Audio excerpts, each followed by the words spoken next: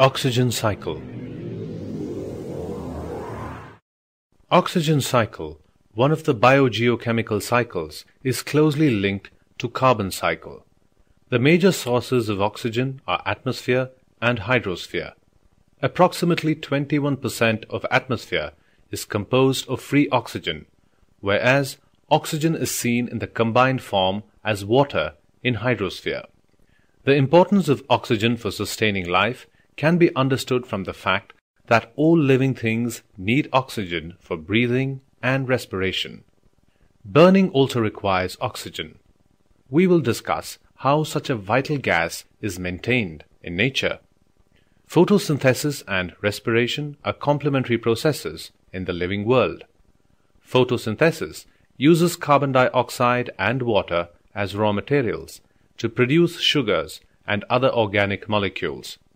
These molecules, in turn, serve as food for other organisms. All of these organisms carry out respiration, a process that uses oxygen to release carbon dioxide from the same carbon atoms contained in the food. Thus, one process uses carbon dioxide and releases oxygen, whereas the other uses oxygen and releases carbon dioxide.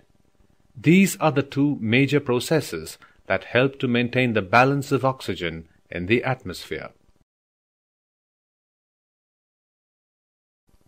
Another process that adds oxygen to the atmosphere is photodissociation of water vapor.